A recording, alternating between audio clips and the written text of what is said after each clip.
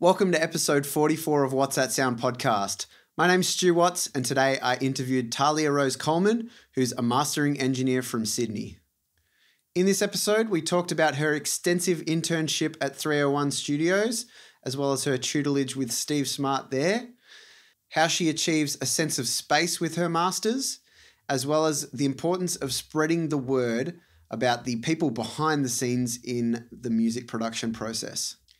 If you could do us a favor and spread the word about this podcast, share it on your socials, in a DM, in a conversation, wherever you feel comfortable. We want to get this out to as many people as possible, and you can help us just by doing that. Hit follow or subscribe on your favorite podcast platforms so you can stay up to date with everything new that's going on here at What's That Sound. Heaps of big stuff planned this year, so do that and you can stay in touch. If you have any suggestions or if you want to request a guest, you can send me an email podcast.whatsthatsound at gmail.com. All of the links to everything that we talk about in this episode are in the show notes. Um, so you can click on anything that is related to myself, What's That Sound, or Tahlia-Rose in the show notes. You can check them out whenever you like. That's it. Let's get into it. No more talking from me. This is episode 44 of What's That Sound podcast. You're listening to What's That Sound with your host, Stu Watts.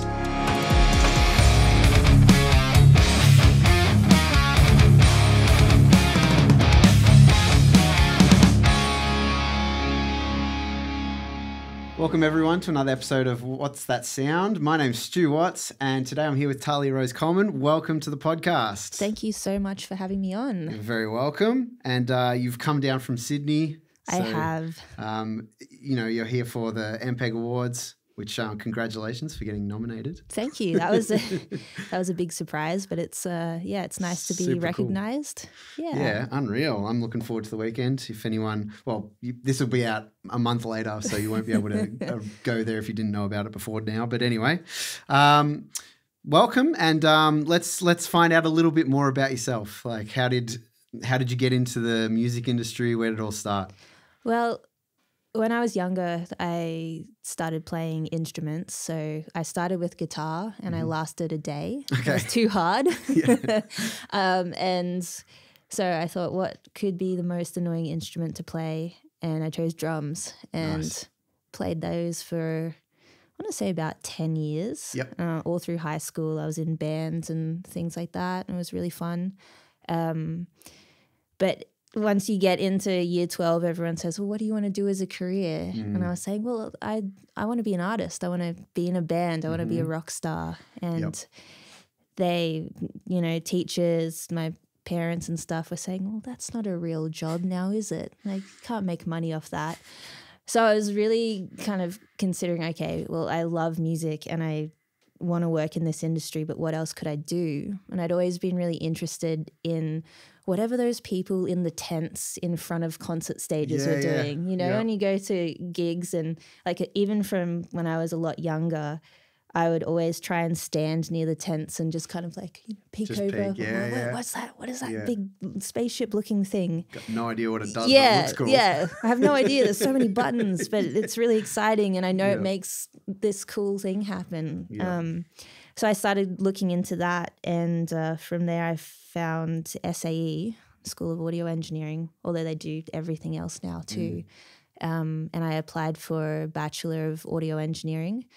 And I got in before um, I had even completed my HSC. So I thought, you know, Beautiful. that's fine. I didn't even need to study anymore. Like, Unreal. this is cool. Yeah. So yeah, that's how I got into that, and I Yeah. went to uni, um, studied that for two years, Mhm. And then immediately got an internship at Studios 301 at the end, and then that was it really. Unreal. It's Yeah. pretty smooth sailing for you. Pretty smooth, yeah. It was just kind of like one thing to the other. It wasn't. There wasn't too much questioning in it. Like I just Yeah. knew, I knew, like especially in uni, oh, this is something that I really want to do. Like the further I got through uni, the more passionate I became because I went in not knowing anything. Like Sure. Yeah. They're like, oh, you know, reverb and compression, and I was like, I, I, Never heard of it. I don't, I don't know what's going on. And everyone around me, I think there was a lot of DJs and a lot of people who had kind of already gotten into production and stuff and I Yeah. just played drums. Yeah, yeah. So I felt like such an imposter just not knowing anything. Um, so I tried really hard and and the more I got into it, the more I really appreciated the craft and Mhm. and then I learnt mastering there, which Mm. really got me excited. Yep. So I want to take it a, a little bit back of like when you were growing up, what sort of music were you into? I'm just gonna grab ooh.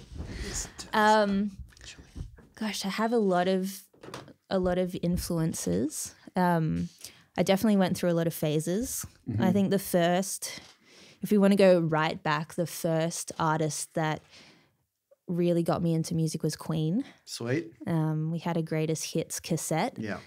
And we went on a Pretty sure road trip. every family had that. yeah, cassette. everyone had that cassette, and so we were one of them. And Yeah. uh, we went on a two-week holiday up Cape York Way, so there was no access to anything, and we forgot to bring other cassettes. Ugh. And I, I think I was four or five, and we just played that back to back, and then we just swapped to the other side, played again, and I just fell completely in love. That's awesome. Um, and then I went through the, the typical like teenage emo stage where I was listening to a lot of punk Yep. and a lot of rock. Um, but I guess in a surprising way, the more that I've gotten into engineering, the more I've appreciated lots of other genres that Mhm. maybe before this practice I just Mm. immediately was like, nah, can't do it. I won't listen to country or I won't listen to this. And then Yep. now that I've got a different trained ear, I listen to it again, and so my palette has expanded a lot. Absolutely. I love it. Yeah, Well, um, I mean, it's a it's a great it's a great way to start, and you know, going through the punk thing, I like can absolutely relate to that, and I'm still the music that I listen to to this Yep. day. So it's pretty funny. But um, yeah, let, let's let's talk about you know when you were at school and and learning about it. What kind of things were were there like many? Uh, uh, I'm sure there was heaps, but what were the like main aha moments where you were like, "Oh, this is so cool! Like, I want to really focus on this." Like you said, you learned about mastering, and you're like, "Oh, this is really cool." What was it about that? Th- I think when it came to mastering compared to learning mixing and learning recording, because you know we started with here's how to set up a microphone all the way to mastering at the end of the course. Yep. um, the the thing that surprised me about mastering was that my lecturer was barely doing anything Mm. And the song just jumped out of the speakers at you. And he would explain it like that you know you just got to you just have to change a few things and then suddenly the song is out of the speakers in your face. And that's what you have to achieve. It doesn't feel like the song is in the speakers and it's there. It really jumps out and that's how you know you've got a good master. Mm.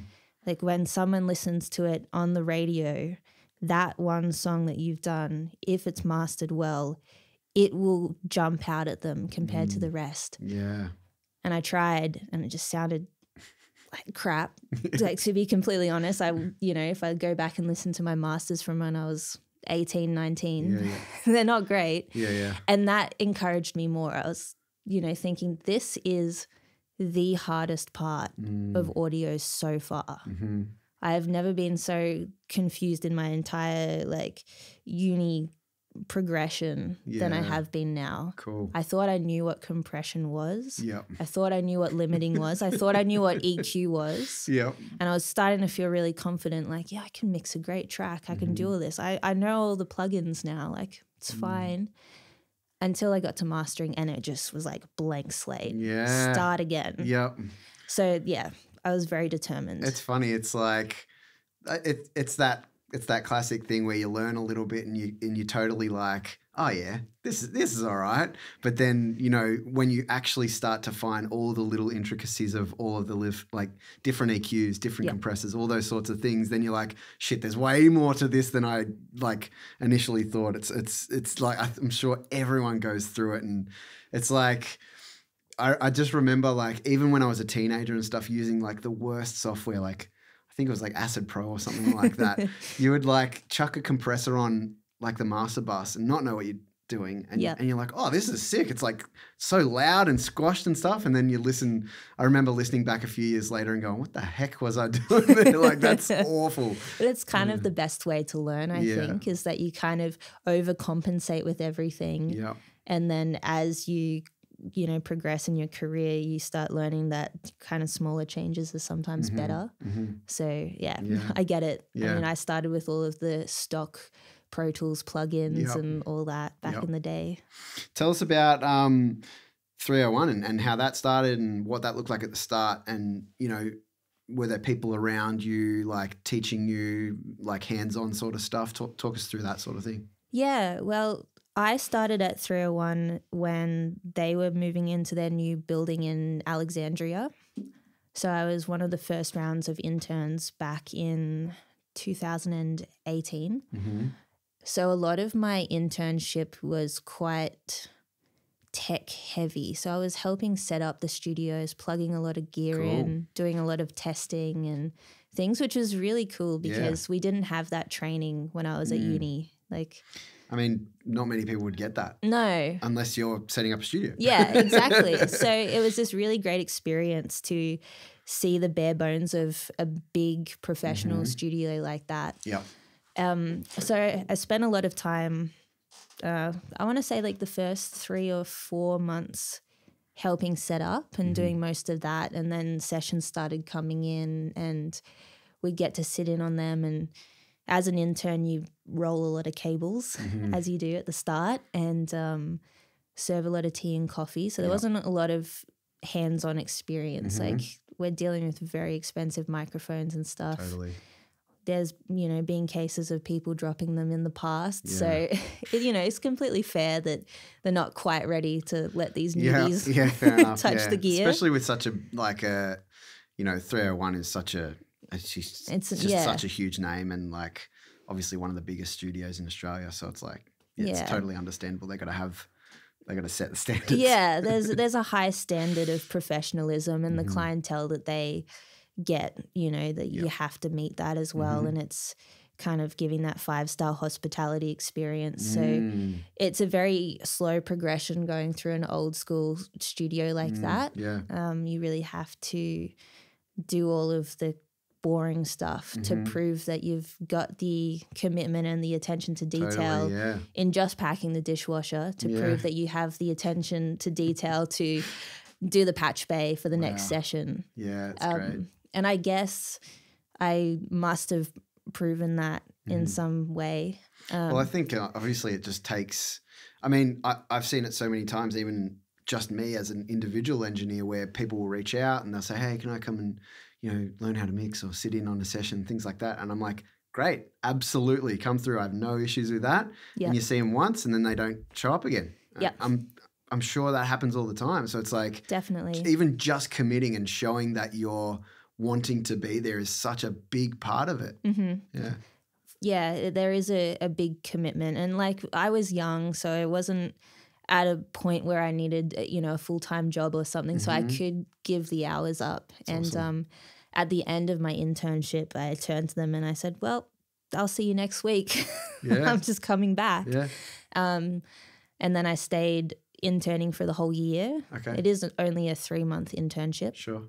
Um, and in that time, I met Steve Smart. Yep. And when he was hanging around the cafe area and Mm-hmm. stuff, I wouldn't bombard him, but I'd ask a question or two, Yep. you know, about mastering.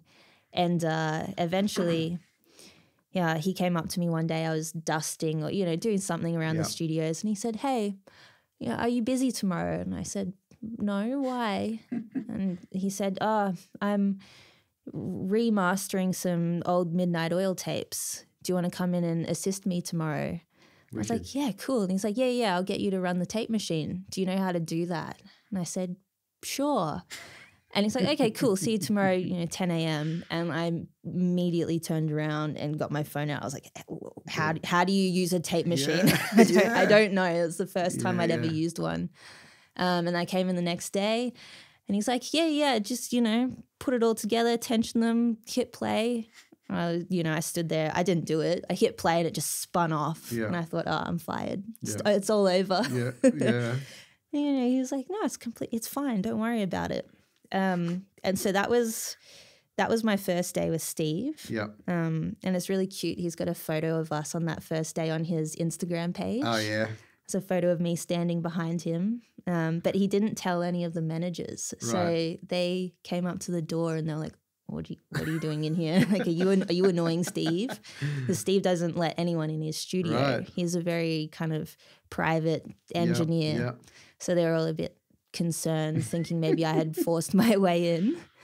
Um, yeah, and then he just took me on Yeah, and nice. kept showing me the ropes from there. Yeah. Tell us about that. Tell us about some of the like key learning, um, you know, things from that time. it was a you know what I thought I knew about mastering from uni. Mm. I just had to wipe that all clean and start again. Mm. Which is another thing about mastering. It's just every time you think you know, you Mm. don't know. Mm. And Steve is hundred percent analog, Mm. so I was learning again from scratch Awesome. how to master. Cool way to learn. Yeah, before that, it, I was just doing in the box because Yep. I had my own gear, and obviously a twenty-year-old can't afford Yeah. outboard Oh, gear. yeah. I still can't. yeah, it's pretty expensive. um, so it was it was a big curveball. I would stand next to him and he'd, you know, bypass something. and Go, can you hear that? And it mm-hmm. would be like. 840 hertz at plus 0.2 over dB Yeah, yeah. and he's putting it in his eyes he's like yeah yeah yeah can you can you hear that and i'm like oh, yeah, Sure. I think. and you know, he'd say, okay, well, pay attention to the ring of the snare or pay attention to Mm. Like the beater of the kick. Now listen to it again. And then I'd hear it because he'd Mhm. tell me where to focus. So we spent a lot of time where he'd kind of start showing me how to train my ears Yep. in that sense. Um, and when he said, you know, I'd love you to come in and start mastering in here, um, I was like, that's really cool, but I don't feel ready. and he said, okay, well, the best thing you can do is know these speakers in this room Yeah. like the back of your hand. So you need to come in here as soon as I'm finished for the day. Like he works, you know, nine to 5 hmm He said, as soon as I finish up, come in the studio and just listen. Mm. And he probably said that at the beginning of maybe 2020. hmm And I didn't tell him that I was ready to start mastering until August of 2021. Yeah. Wow. So I spent almost two years just Mhm. sitting and listening. Yeah. Another thing he got me to do was to bring up his old sessions and I would try and master them. Yeah. And then I'd compare it to his master. Yeah. Unreal. And he was like, Oh, you know, you probably, you, you might master some of them better than me. And Yeah. I'm thinking, No way. Yeah. There's absolutely no way. Yeah. But doing that, working on his gear and then A being to his and going, How? Mm. How did you get that? And then trying to emulate until I yeah, matched the it. reverse engineering part of it. Yeah. Yeah. I mean, there's that's taste comes into it. Like everyone's individual. Mhm. Everyone has different ways of listening, different ways of like liking certain things and stuff. So you're going to pay attention to different stuff than he did. Oh, and- and- definitely. and, that sort of thing. So there, there's no reason why you couldn't um, have done a better master in some circumstances. So Yeah. it's it's just one of those things when you're early on. You, I mean, it's the imposter syndrome of it all. It's like, how could I? How could I possibly? You've been doing this for thirty years or Yeah. whatever. Yeah. Well, um, you know, fast forward a little bit now. You you you've been doing it for quite a while now, and you've you know you've got a bunch of masters under your belt. So, Yeah. like, what does your process look like these days? It's a little bit more hybrid um, compared to how I started off with Steve. Mm-hmm. Um, I do get a lot of electronic music and a lot of dance music. Mm-hmm. Not sure how I ended up in that scene, but someone found me and then my name got put out there. But Yep. I, I love that music as well, Mhm. but it doesn't quite translate 100% on analog gear. Mm. So I do try and do a bit of a mix. Um, and like you said, like we all have our own styles and how we do our work. And I think I've gotten to a space where mm, I've got my own sound now Yeah. um, in my hybrid system. And I think people are starting to know me for that particular sound, Cool. which is really cool. Um, but it's ever changing. Mhm. Like even just last week, I was trying out new plugins and Mhm. going, I wonder what this would sound like on a master. And it surprised me. And, you Mm. Yeah. know, I'm like, maybe I'll put that in my chain. I'm not sure. So, what sort of things do you look for when you're trying to like trying out new stuff, or you know, when you're doing a master on the same gear? Even what sort of specific things you're listening for? I guess it depends on the genre. Um, when it comes to gear, because mastering is so diverse, Mhm. um, I could sit down for a day, start with a full on house track, then go to punk rock, Mm-hmm. then do a classical piece. Um, it like you you're not stuck in one niche. You're really kind of able to do everything. Mm-hmm. Yeah. So a lot of the gear and the plugins and stuff that I think about need to be quite versatile in working for everything. Mm. Obviously, I've got, you know, different gear or different plugins that might have a particular color that Mm-hmm. works better for rock or works better for pop vocals Mm. Yeah. and things like that.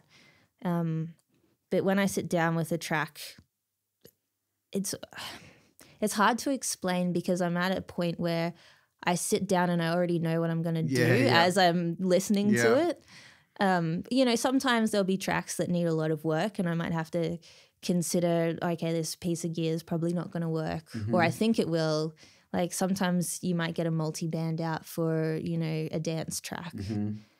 and you put it on and then it doesn't quite work in this instance. It might, you still want that kind of organic feel, not too compressed. Um, but most of the time I'll start listening and already know, okay, you know, I need to do this type of EQ Mm. and I'm only going to use a very light compression. So I'll use even a FabFilter or maybe an iZotope or the alpha compressor that I had at 301 worked on everything, you know. So. Well, it's like it's it's like you were saying with the speakers. You have to you have to really understand your tools before you even go to touch them because Mm-hmm. It's like it's yeah you can learn by playing and that's the best way to learn. But when it comes to actually doing a job, you have to know the approach before you even start. Yeah. You have to. It, it, it's and it only comes with practice as well. It's like you know, it's, say for example, if I'm producing an artist, if they show me the song, the first time I hear a song, I'm thinking of what I can do with Yeah. it, and, and things like that. So It's a similar thing with mastering. Is like you you just take it all in, and things just hit you. yeah, exactly. And that was something that Steve told me from the beginning. Mm-hmm. He said, You're going to sit down at this desk and you're going to just know where you end up on the desk every time. Yeah. Like you don't stop to consider, you just go with it. And you- Instinct. yeah, it's all instinct. Yeah. And that's when you know that you're in the right spot. You're, Mm. You know your craft. Mm-hmm. And I've gotten to that stage where everything is now just instinctual and I Mm-hmm. don't sit there A being two different frequencies that are like five hertz apart going, oh, it's which one? Yeah. You know, you kind of just know what's Yeah. right. yeah. Um, and it obviously makes the process a lot quicker. Mm-hmm. Like when I was starting, it'd take me ages to master a song because I just wasn't confident, you know? Yeah. Well, talk talk talk through that. Like when you're obviously learning something to to begin with, you're having you- you're second guessing yourself. You're going, should I use this one or should I use that one? What key things sped up your process? definitely solidifying your chain early on i think even if you're like getting like i said plugins or gear Mm-hmm. for a lot of people it's probably just plugins that are quite versatile to work with all different genres is Yep. probably a really good start so Mm-hmm. you know FabFilters very clean iZotope Ozone's very clean love both of them Yep. then you could if you've got any waves or if you've got a plugin alliance subscription Mm-hmm. you might be able to get some colored plugins as well set your chain up so you might have a de-esser eq couple of compressors there Mm-hmm. a limiter you know just have your go-to chain so every time you just open it up Mm-hmm. and you're not questioning what Mm. plugin Yeah. because if you're not too confident from the start just just have the ones that you know and then start working from there and then Mm. yeah. and really just if your gut is telling you straight away i should try this frequency and just do mm-hmm. it and if you're not 100% sure like even as an example a couple of weeks ago i did a master for an artist and i felt like it was good but then i wanted to try a second print with it was like the slightest EQ change. Yeah, And. I was like, I'm just not 100% sure. and it's not usual for me to be Sure. a, you know, a little unsure. But Yeah, in yeah. this instance, I was like, is it is it take A or is it take B? I don't know. Yeah. But I have time before I need to send it to the client. So you know what? I'm going to put that aside. Sweet. I've got my two prints there. I'm just going to take a break. Mm-hmm. I'm going to move on to a different track. I'll go have a cup of tea, take a walk. Yeah. And then I probably waited, you know, half a day or something. And then I sat down, I listened to the two tracks again and went, it was A. Yeah. Straight up, it was A. It's great. So instead of just sitting there and pondering and kind of not panicking, but overthinking of what you're doing. You know, just try and work efficiently, see Great. how you feel with it. And then if you can take a break, then come back with fresh ears. Yeah. It's always a good way to do it. Well, I love a couple of points that you brought up there. Was the first one was starting with plugins that are you know pretty much clean and don't have any like coloration and adding too much because you know people. I think generally speaking, the cleaner is easier to process, right? As a listener, Mhm. you're listening to a clean song, you're like, "Yep, it all just works." And so if you're starting at that point, you can get it to a point where it's like, "This is great." Yeah. And I heard a I heard an analogy um, the other day of uh, I think it was uh, producer Mike Plotnikov. Anyway, I can't remember his full name, but he was talking about how he likes to get things to to vanilla. Yeah. And he's like, vanilla's a great flavor. Lots of people like vanilla, but then if you want to have a different flavor, Yeah. then you can add it. You know, and, and I thought that was a really cool analogy, and it, and it works for that as well because Yeah, you're yeah, yeah. starting at a point where it's super clean, it all works, and it gets to that point. Then you can always add extra. Yeah. And, you know, I try to think about that with the mixing as well. Um, but the other point was um, where. Actually, I've forgotten the other point now. I've gone so deep into that.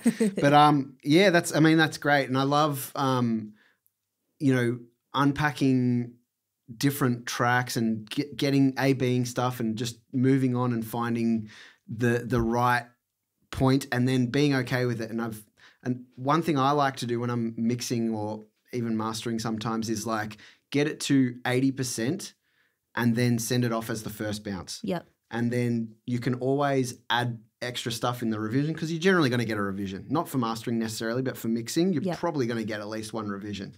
So you can always fix those extra things. Get what the client thinks of it, hmm get their feedback because they're going to have something to say anyway. Yep. And it's a quicker approach because you're getting it sent off sooner. Yep. You can get their feedback quicker. You can make the second revision quicker. It just makes things move a lot faster. So Yeah. I'm, I'm right on board with that. That's, that's such a cool process. Um, what do you think when you're, you know, listening to a track for the first time and it might be a different gen- genre, or maybe something that you haven't worked in? What is a great sounding mix and what what do you love when it comes to you and you're like spot on? Well, obviously, when I get it in the room that I'm working in, because I know the space so well, Mm-hmm. and mastering speakers um, generally are like putting a magnifying glass up to a cha- track. So if Mm. there's any issues, I can hear them immediately. Absolutely, And a lot of the 301 engineers used to say, "Oh, I hate coming in here and listening to my mixes. Oh, it's it sounds so weird and different." But to me, I'm like, "Well, this is great because it's it's nice and flat, so I Yeah. can hear everything." And you know, Mm. um, so when I get a mix and listen to it for the first time, I you know I know if someone's been in a room where they haven't treated the bass properly because it just comes in and it's boomy or they've just got no top end or you know those things yeah you can fix them but then there's mixes I'll get and I listen to it and I'm like all I have to do is add some sparkle Mm. And that's that's lovely it's not Yeah. corrective it's just adding the magic touch Bit of which sweetness. yeah, which a lot of people don't know what that is in Yeah. mastering. They're like, I don't know what you did or what you do, but that's nice. That sounds really good. Yeah. Uh, so it's always a nice time when I get a track I'm like, I don't have to do anything. And I'll Mm. always tell the artist or the mix engineer if I know them, I'll actually email or message them and say, hey, spot on mix. That was Mm. really good.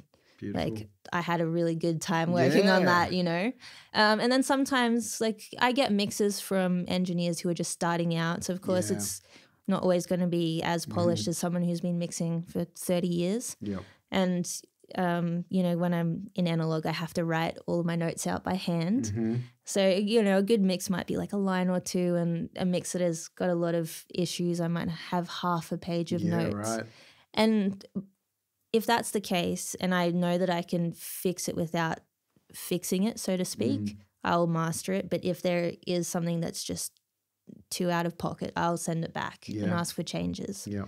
But yeah, you you know, you bring it up and Mm. you just feel like, oh, this is gonna be great. Like, Mm, yeah. Hey, thanks so much for listening so far. There is plenty more to come, so don't go anywhere. I just wanted to let you know that this podcast is made completely independently by myself with no sponsors. So if you like what you hear and you would like to show your support, you can send a donation to the PayPal link paypal.me slash what's that sound. The link is also in the show notes. Thanks so much for your support and let's get back to it. This is. I'm always fascinated with mastering engineers is the the creative approach to it because so much of it is technical. You know, you're you're creative in the sense of you're using your ears and you're knowing what to go to, but you understand the gear so well that like you said it's just all instinct instinct where what point do you get to be creative when you're mastering I think there's a lot of creativity when it comes to how we add our own flavor to a master. mm-hmm. So if I compare myself to the other mastering engineers at 301 as an example, because they're the guys that I've worked with for so long. yep If we all had the same track and mastered it, it would come out completely different Yeah. every time. yep And the way that we add our creativity is in how we choose our gear and how we respond to things. Mm. So I guess in in my sense, something that I really like to work with is space. mm-hmm. And not by just chucking, you know, a, an imaging tool on there Mm-hmm. and, you know, doing stuff like that, but playing with EQ and compression to really kind of bring out that 360 Mm. experience that, you know, whatever's hiding that you didn't really notice Mm. before. And I got a lot of comments before I even knew I was doing this yeah cool from artists going, I don't, you've just added so much space, or there's these yeah things that I'm hearing now that I didn't hear before. This is so cool amazing. And I'm looking at my notes going, I didn't I didn't do anything to the stereo width. I don't like yeah okay. And so I started kind of paying attention to, okay, how am I working and what is creative about this that's, you know, adding that. And it was just the way that I was using my EQ because when it's not corrective work, Mhm. it is all just adding magic mm. and without spilling all the secrets yeah. you know there's there's special frequencies here and there in different tracks that you know that like between that and particular ratios on compressors Mhm. you can just suddenly just everything just Yep. comes up just pops out Yeah. like you were saying earlier yeah so i think that's how we do our creative stuff is Yeah. through these kind of secret little flourishes that are Yeah. our own Absolutely, I love it. Now, um, being around like a bunch of people around 301, there's people coming in and out all the time. I'm, I haven't been there, but I can imagine. Um, different engineers, different ways of working. What what is that like? Is there is it is every day different in in the sense of like conversation and unpacking the the music world and stuff like that? And how does that influence the way that you work? yeah it's um well obviously you know i've i'm now freelancing so it's a bit quieter than it was at Mhm. 301 but it, wa it was a revolving door of different artists and Mhm. different engineers and i definitely attribute a lot of my growth and knowledge to just being in the hallways and Mm. and chatting with other engineers and you know oh, what are you up to today oh do you want to come in and listen sure you know you walk into Yeah. their room and Yeah. you know, they're mixing some cool track and you go, "Oh, how did you get the vocals to sound like that? Yeah. You know, they quickly, oh, have you seen this plugin? Like, I just found it. It's really cool. And so, you know, everyone's like sharing their little tips and tricks so good. you know, tricks and stuff, which is, um, yeah, really fun. And then you get to meet a lot of artists as well Mhm. and, and how they kind of work creatively. And Mhm. it's, it, it's just a really nice hub Mm. to kind of bounce off each other and Yep. and learn. And I guess going freelance, you kind of miss that a little bit Mm. because you don't, you can't quite just step outside and go, I have a question. Yeah, absolutely. Who's going to answer? And that's something that I had before. If you know, I was mastering, and I thought, I just, I've got a question about something. I could go down the hall and Mm. Harvey O'Sullivan is there, or Ben Feggans, or Andrew Edgson. Like all of them were just around the corner, and Yeah. I couldn't ask them. Or you know, when you've got a track that does X, how do you achieve Y? Yeah, yeah, And I go, well, this is how I do it. No one, no one kept secrets. yeah. and that was really cool. Well, I mean, that's something that I've noticed just even by having this podcast is people are happy to talk, and I think um, it's important once you've been doing it for a while and you've learnt a whole bunch of things to to to safeguard everything to be a gatekeeper on the process or you know you don't have to give like you were saying you don't have to give all your secrets away but the conversation around things or the approach to something you can only help people by having those conversations and by Yeah. by shutting yourself off from that or even by not allowing yourself to ha- ask questions of other people and stuff you're Yeah. really stopping yourself and others from learning from each other and i think that's one of the best things about music is like it's endless it's in- infinite the Yeah. possibilities are infinite so being open to conversation is it's key like it's one of the best things that you can do Oh, definitely. And being like willing to admit that you don't know everything. Like, I wouldn't say I'm the best mastering engineer and I know everything and I've already hit my goals. So I'll be learning for the next 20 years. And forever yeah, Yeah. plus, Yeah. you know, yeah and I I've already started you know mentoring and Mm-hmm. helping younger engineers come through and my door is always open to Mm-hmm. people and I learn things from them you know and that's great Mm-hmm. even though they are learning from me and they think that I'm the the master um you know there's so many things that I learn from them because I'll say well what would you do in this situation and Yeah. you know they'll say something and yeah maybe I'd not thought of that Yeah, and absolutely. I mean, it's the, it's one of the.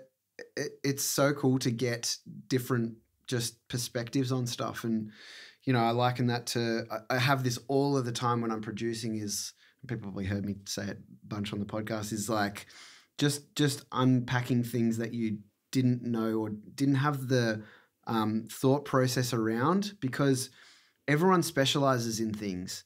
And just because it's not directly linked to what you do as an engineer, as a producer, whatever, doesn't mean that you can't learn from what their approach. Yeah. And you know, it might be like a pedal board setup or something random like Yeah. that. But you can still go, oh shit, I never even thought about it like that way. And it'll just change the way that you think about something. oh yeah Yeah. yeah Tell us about things that like, you know, we've talked about learning, we've talked about how you get better at things. What sort of, you know, for lack of a better term, brick walls were in the way, or what hurdles did you have to to get over to, you know, was there things that popped up a lot, or was it kind of a like always different things that kind of, ooh, what's that, or that's in difficult. in terms of the the sound and like I guess just like learning the craft and and the process and all that sort of stuff. What what sort of things popped up that that made it difficult? I think. Oh, that's a good one. Um,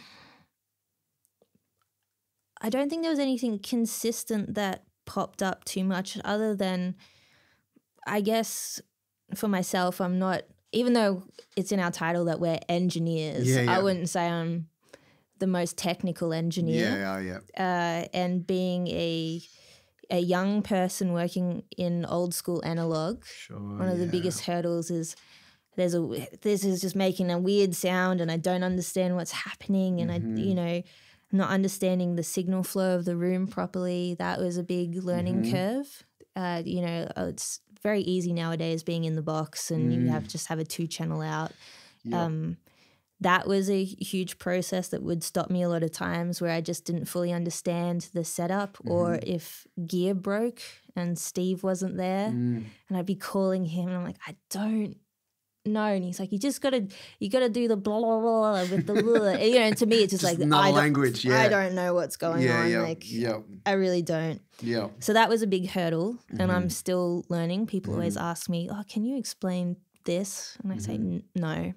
I use it, and you know, I, I know how to make music sound good with it, but yeah, the the process of that gear, I don't know. yeah.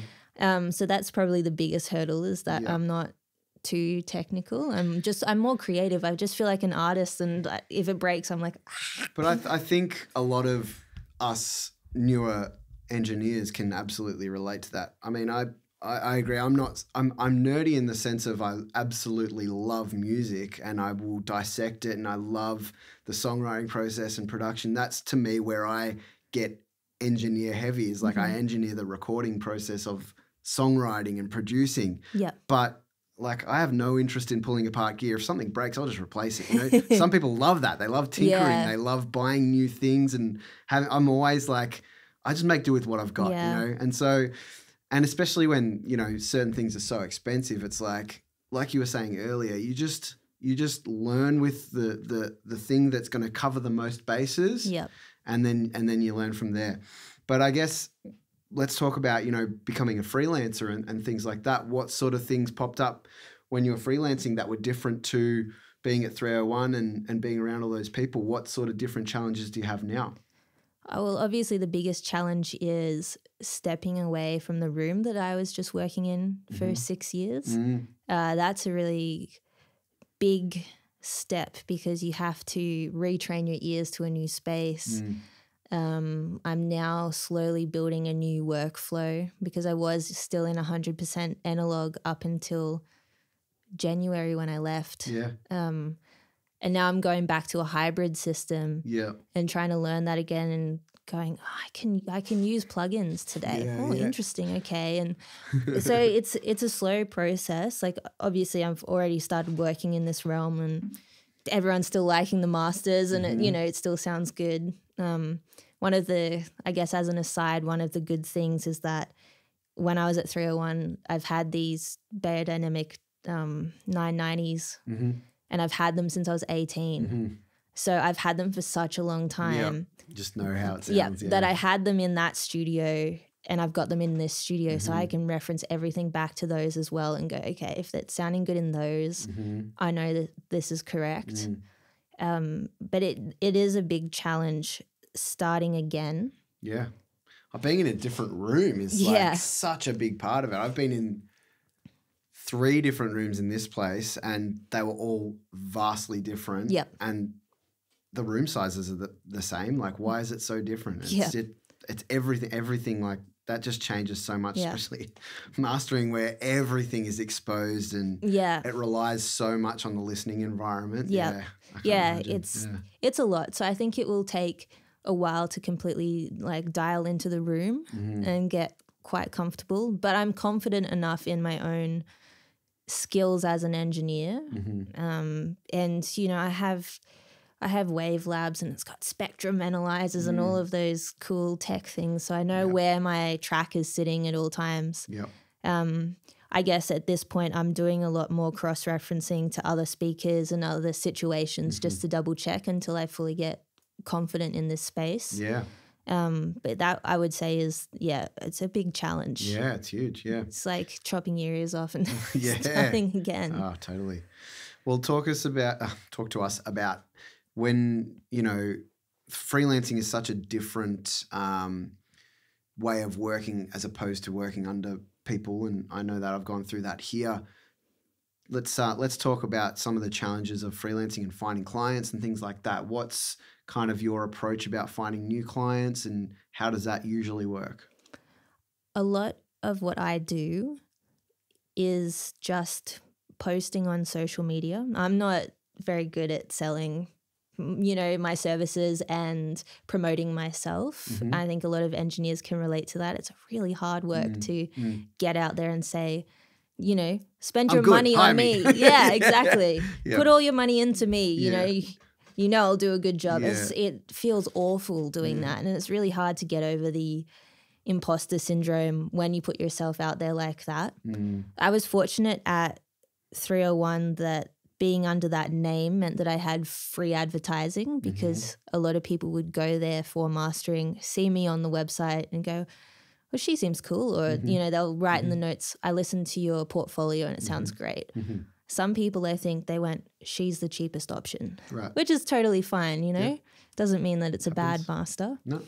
um, nowadays that I'm, you know, now that I'm freelancing, I do have to spend a bit more time kind of working on this. And I've got a few partnerships with organizations and stuff that I've Mhm. set up that hopefully my website's an, you know, work in progress right Mm-hmm. now. But once it's up, I'll be able to, you know, let people know. Mhm. And word of mouth. Mm. I go to a lot of gigs and I meet a lot of artists that way Yep. and just say, you know, hey, I'm an engineer and or I, you know, I go to a gig and I like what they're doing and I'll add them. Mhm. And even if I don't just message them directly or anything, but you know, down the track I might just say, you know, I, I saw you at a gig and you sounded great. Yep. Um, I'm not one of those people who will just cold DM. Yeah. You know. It never works, honestly. No, it doesn't. The the best thing that I've found is just word of mouth. Yeah. You do a good master once or a good mix or a Mm-hmm. good recording session, that artist goes away, tells two of their artist friends and it just spreads. And Mm. Yeah. so for the past, I want to say the past two years, I haven't done any self Mm. promotion because it's all just organically been growing, which is nice, you know. And and you know, I think that happens for a lot of engineers. They get to a stage where they've just kind of done enough work where it just organically will come to them. Yeah. And then you have all of your clients who will just return. Mm. And that will kind of make up all of your consistent work. And then Yep. you just try and fill in the little spots here Yeah. and there with, you know, new clients or new Yeah. work. So And I think also those those little gaps are great times to work on your business and just keep improving all of the back end stuff Yep. that needs to get done because I mean, when you're not freelancing, other people take care of stuff. yeah. But when you're freelancing, everything falls on you. So if Yeah. you don't update your playlists or if you don't update your website, if you don't do this, you don't do that, you don't post on social media, hmm it's just a missed opportunity. Yeah. And before when I said cold DMs don't work, it's not that they don't work, it's that there's an approach to it that a lot of people um, try the most basic approach of like, hey, how you going? I I'm an engineer. Here's my stuff. Yep. People are too switched on these days with social media and and so that's why those approaches don't work. But you know, like you said, when you follow someone, when you've seen them at a gig or something, Mhm. and you reach out and you say, "Hey, that the gig was awesome. You played sweet," and then you get to talking, and then they find you on socials Yeah. and they see that you're an engineer. Those are those more organic. It's still somewhat of a cold thing because you're you're following them or you're saying good day out of Yeah. nowhere, but there's a connection there. And Yeah. I think that's really important that if even artists that might be hearing this is like, there's always a way to approach someone that you don't know that just involves a little bit of groundwork first. And you need those connections. It can't just be kind of out of the blue. Yeah. Go to their gig, go say good day. If you like, if you like them and you want to work on their stuff, have a way to talk to them Yeah. first before actually just saying, "Hey, I'm an engineer. I want to work work on your stuff." It's yeah. like, just try and find, uh, you know, kind of what what degrees of connection you have like or Mm. maybe you worked with an artist that they've been on the same bill Yep. with you know or something like that you can there's Yep. always ways like Mhm. the music industry in australia is incredibly small Yep.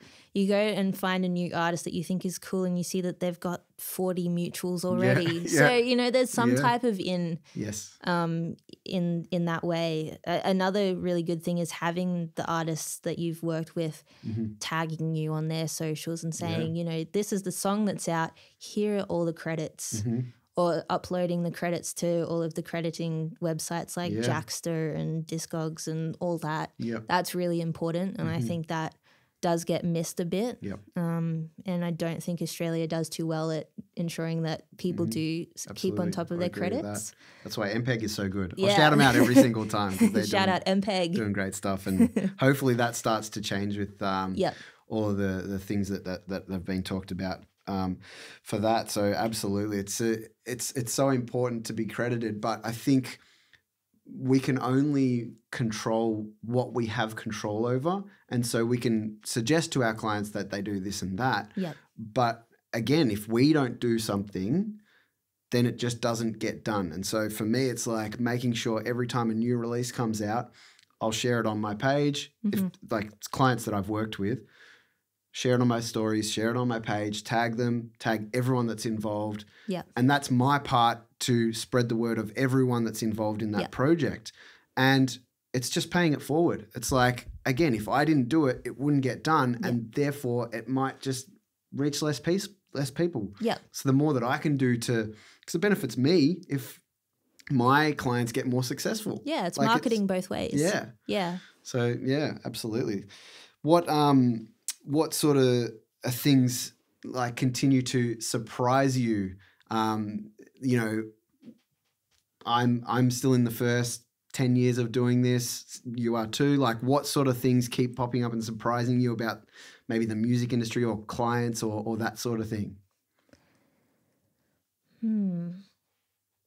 I mean, I think something that does surprise me still is probably the lack of knowledge about what we as engineers do, hmm um, even in the wider industry, but also outside of the industry. There's not a lot of knowledge around the engineering side of this creative process that we're in. Mm-hmm. And that surprises me. Mm. Like the film industry is quite transparent and people understand what color gradists are Mm. and editors and visual effects people. They all understand that. And everyone listens to music every day, but there's not quite that education and understanding. And so I think it surprises me how often the engineers are kind of left behind and not seen. And, you know, shout out MPEG again Yeah. for changing that. That's Yeah. really exciting. But that's been quite surprising. Mm. Even artists not fully understanding what we do. Totally. Um, that that's a big surprise. Well, I think the thing about, you know, being an engineer or a producer or anything like that is up until five or 10 years ago, the only things we saw of studios were like quick little snippets behind the scenes on DVDs or, you know, on a special or Mhm. something like that. We just never had the insight into what goes on in an actual session. Yeah. And it's like, again, it's it's it is on us to be sharing that sort of stuff. It's important that, you know, we're constantly showcasing the work that we do and giving an insight into it and spreading the word about like and I mean that's why I do this podcast. Like it's it's really important to me that we educate as many people as we can about the way things work and you just never know who you're gonna like captivate with it. You know what I mean? And like there's nothing cooler than music. There's nothing cooler than what I do, in Yeah. my opinion. You know what I mean? Yeah. And so, someone else feels that way. Yeah, So yeah. yeah, no, definitely. It's uh, it is changing slowly, Mm. and hopefully, you know, as you know, social media kind of increases, we can get more understanding of what we do and kind of help us to help them in Mm-hmm. A way. You know. Yeah. Let's talk through. Um, let's get geeky and talk through some of your favorite tools, uh, whether that's hardware or software. What What do you love love to use in a session? I think I've already mentioned it earlier, but I think the Elysia Alpha compressor is probably my favorite piece of gear. And if I have to save every penny to get another one, I will. yeah. Um, What's so good about it? it just makes the song sound amazing every time. Yeah. It's so clean, it's so smooth. It doesn't sound like you're compressing something. You know, Mhm. sometimes you use a compressor and you're like, oh, yep, Yeah, that, that's yeah. that's being compressed. I, can, I can hear that. Yeah. It's yeah, it's just so versatile and beautiful Mhm. and musical. Mm. Uh, So that's you know a piece of gear that it just is you know just an amazing piece of Yeah. gear. Yeah. I think that everyone should have one. I will say though, the plug-in versions don't quite compare no. because I was thinking, "Oh, I love this gear so much. You know, Yeah. I'll I'll get the the plug-in equivalent, and I Yeah. started playing with it. And Yeah. See, I've got it on the plug-in plug-in alliance bundle, and I've I've used. Uh, I think I've used it once or twice, but it never done it, never done anything for me. But yeah, it's hardware's different. hardware's different different. Yeah. Hardware is definitely Yeah, different. Um, so that is beautiful. Um, another piece of gear, like these are Steve's choices, so I didn't get to choose any of Mm-hmm. that outboard gear. I came into his chain and honestly, per, you know, Just perfection. is Yeah, fine. he knew what he was choosing. Yeah. Um, the the Sontec EQ hmm uh, was just stunning. Yeah. Again, it's quite. It's not too musical for an EQ. This is all mastering stuff. Mhm. Yeah, but absolutely. you know, it can work on mixes and things because Mm. it is very clean. But the the top end on that EQ, you could put a you know a high shelf from like 12k up, Mm. boost it up to like plus six Mm. dBs, and it's not sharp. Yeah. Yeah. It's just magical, uh, Yeah. you know, and it's and it's so lovely to have a piece of gear that does that because Yeah. top end is something that is always you know a bit of an issue, Yeah, right? Yeah. things absolutely. are always you know too sibilant or Mhm. too sharp Mhm. and it's always a battle i think with a lot of mixing engineers because i'll get stuff and it's Mm. it's just too dark now Mhm. because their speakers the have opposite yeah they've yeah. Mm. gone they've overcompensated so i need to bring that back Mm-hmm. somehow or try and balance it out a little bit more um, and that's it's just stunning works Mhm. every time Love it. uh, going to plugins which you know plugins are wonderful Mhm. um, plugins are wonderful. um, I really do love iZotope Ozone. Yeah. Um, what are we up to? Nine 10, or eight? Ten. Mm. Okay, yeah. Mm. Whatever the latest is, Mm. I think I might be on the version just Before, before, yep. that. Yeah.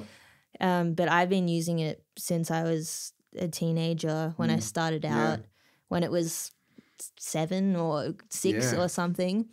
So I, it's again something that you can use on everything. Yeah. It's very helpful. Like it, if you don't know something, you just Mm. Mastering kind of assistant. yeah, well, the mastering assistant is interesting, but in It's terms of um, if you don't understand how a, a knob or something doesn't, you know, works on the gear, it will give you a rundown. I know, like Ableton, the software does that too. Mm. yep. It's got that little help bar. yeah.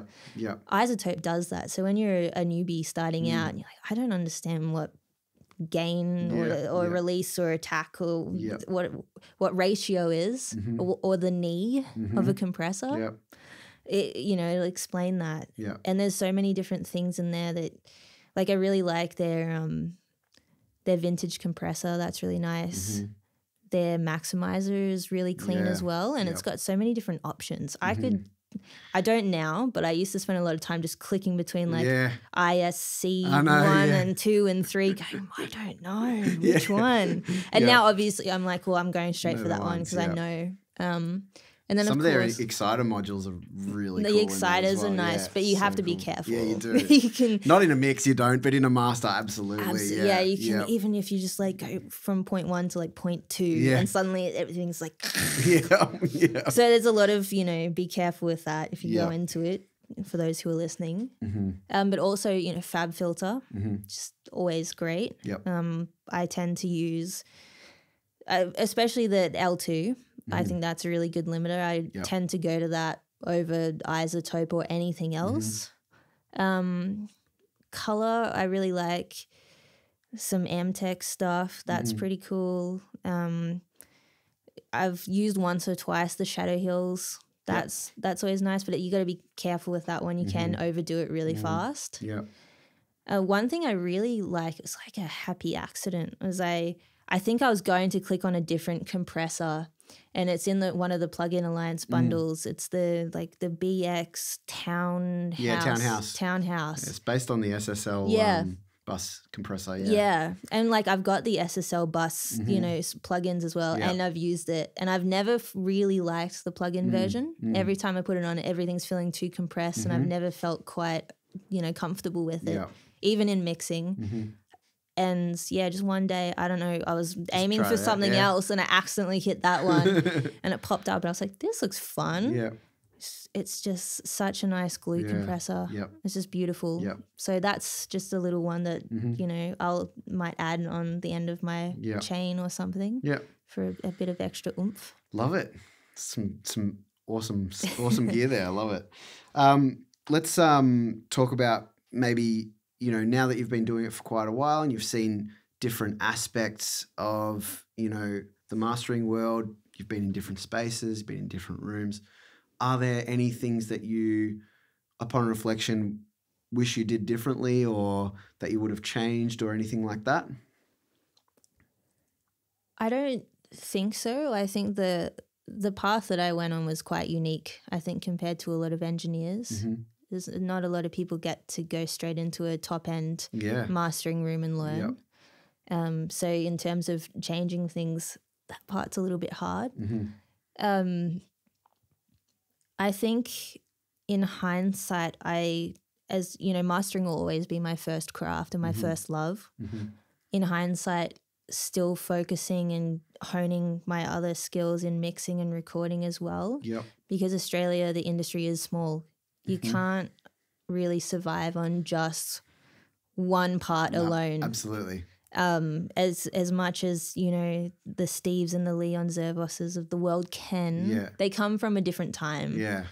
and you know that's great, but it's it's not a reflection of where we are now. When you're first starting up, yeah, Yeah. absolutely not. you need to be able to do everything, hmm and I am still old school in that I. I don't think you should mix and master in the same room, Mhm. and I don't think you should be an engineer who mixes and masters the same work. hmm Uh, sometimes I do it, but I have two different rooms. Yeah. and I'll, I'll mix it and then I'll wait a week and then. I'll go master it in another Yeah. space. Not not everybody, you know, like Yeah. they might not have that opportunity to have two spaces. Yeah. But I think still honing your skills in recording, mixing, mastering, Mm-hmm. production, writing, whatever it is, you know, chipping away at all of them takes a lot of time for sure. Yep. Um, but I think I I've left recording and mixing to the side, and Mm. I only mix those who I want to mix. I don't mix anyone who just cold Yeah. calls Yeah. me. Yep. Um, and they're people that I know very well, so it's easy work. hmm Um, but I've you know put me in front of the Neve 88R again in Studio One. I can use it, but it's been years. Yeah. You know, I feel rusty. So Yeah. definitely Just would like need an anything, yeah. assistant now. Yeah. Oh, nice. Very good. Well, let's start to wrap it up. I want to. I want to. Um, I ask this of every guest: is can I get your best piece of advice for first of all engineers, and then secondly for any artists that might be listening? For engineers, I would say one, don't be afraid to ask questions and be vulnerable in not knowing things. Mm-hmm. And two, leave the tall poppy syndrome at the door. Mm-hmm. It's it's rampant in Australia, and I think it's to our detriment that we have that. Mm. For artists, you know, learn or kind of get an understanding of what we do. Mm-hmm. You don't need to be super technical, but it helps us and it helps your own work Yep. to learn how to communicate with us properly. Yep. Um, as much as you can come in and say, "Oh, I'd love this to sound blue," and as cool as the summer day, and you know that's great. but when it comes to, would you like your reverb tail to be dark or bright, or would you like it compressed, or you know, just having a bit of an understanding of just the basics, Yep. just a little bit, just helps everyone Mhm. to make a song a lot better Mm-hmm. All you need to do is watch a video or two on YouTube. It's Yeah. not it's not much. yeah. you know, I've I've had a lot of artists where they will you know they've come in oh, as blue as the summer's day and, yeah. and I'm sitting there going that's lovely, Very poetic, but very poetic, and I get it because you're an artist and this is how your creative brain works. Mhm. But this is the tech side now, Mm, and yeah. it is creative, but Yeah. we need No. to help each other out. I think communication is a huge part of any relationship, and the one between an engineer and, and an artist is it's so, so important because at the end of the day, that determines what the outcome is. Like more than most other things. Oh yeah, good Yeah. relationship should Yeah. be the bottom line Mhm. for every engineer, Mhm. artist, you know, anything. Yeah. Really, like my best work has come from being I, you don't even have to be good friends, but Mm. being on a level where you can communicate with each other. And that's Mhm. something I do foster with every client is that I try and get that communication going from the get-go. Yep. And I'll follow up with them and I'll check in and Yeah. you know, even just making sure you're still communicating on Yeah. socials after you've done their work. Yeah. Absolutely. Yeah, it's really oh, It's important. It's a huge part of it, and like you said, checking in is like just it just got, goes such a long way, you know, and and even and I think especially for artists is like the, I think they need to do the checking in as well. Like you Mhm. know, I'm you know as us as a service provider, it is definitely more important, but it just can't hurt. It can't hurt at all. Like, Yeah. it just it just can't hurt It to can't. stay in touch with it with people. Yeah. Like you just never know what the future is going to bring. Yeah, Yep. it definitely opens doors. That's it. Well, on that note, what's what's the future bring for you? well, uh, tomorrow I'll be at the awards. Yep, good luck. Um, thank you. Honestly, like the, the five of us or, who have been nominated, or four, four or 5 Mhm. we're all amazing. And just to, you know, show that mastering is still an art form is Yeah. really exciting and not Absolutely. just AI anymore. Mhm. Um, so I think uh, I'm just grateful that we're getting that recognition in our little niche field. Yeah. So that's tomorrow. Then back to Sydney and Yep. just continuing with the freelancing. I mean, I've Mhm. got a lot of work coming up. It's Mhm. still been quite busy, which is nice. Awesome. And uh, dialing in my room Mhm. Yeah. and getting yeah. to a stage where I, you know, am listening 100% comfortably, sit down, Yep. you know, and get to work. Love it. Fantastic. Well, thank you so much for joining me today. It's been awesome. Yeah, thanks for having me. It was a good chat. You're welcome. Um, for all of you. Thank you for checking this out. If you've made it this far, do us a favor. Make sure you share it around on your socials in a conversation, in a DM, whatever that looks like. Spread the word. We want to get this out to as many people as possible. Make sure you follow or subscribe on whatever platform you are checking this out on. That way you can stay up to date with everything that's new in What's That Sound.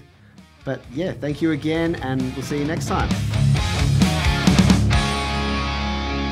Thanks for listening to What's That Sound. Make sure you hit follow or subscribe on your podcast platform to stay up to date with each new episode.